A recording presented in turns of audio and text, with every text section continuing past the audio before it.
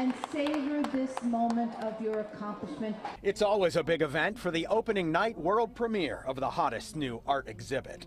This is my still life drawing. It's apples, as you can see. The Brooklyn Children's Museum is home to the 2022 Brooklyn Borough Arts Festival Visual Arts Exhibition. It's sponsored by the New York City Department of Education. This was for an art class. We had to choose between a bunch of historical figures. It's a very inspirational that, you know, one of the first times I actually did paint, it ended up in a museum. So, you know, I'm really proud of myself. What are you thinking about when you see your art uh, hanging on the wall here? Um, I'm proud. Uh, I've never did anything like this, like for it to be in a museum.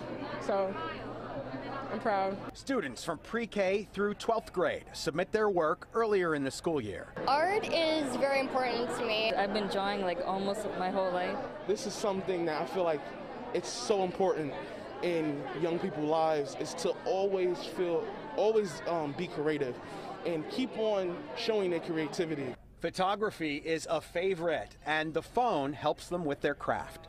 Put it in different angles so I could do a different position and look different. Because I call it alter ego because I never dress like that. You see, I'm very colorful and yeah. stuff, so I call it alter ego because it's just like a different personality in a photo. I'm still trying to figure out how to be confident in myself because even coming here, I was like, you know, my work does not deserve to be here at all.